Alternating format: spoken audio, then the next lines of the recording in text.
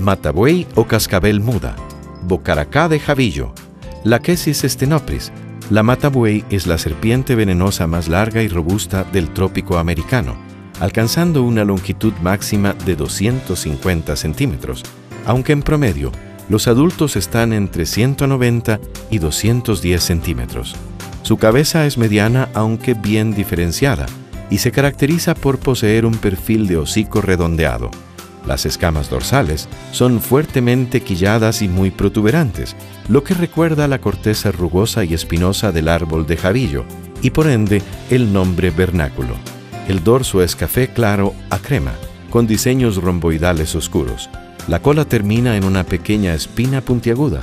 Los machos alcanzan mayor tamaño que las hembras.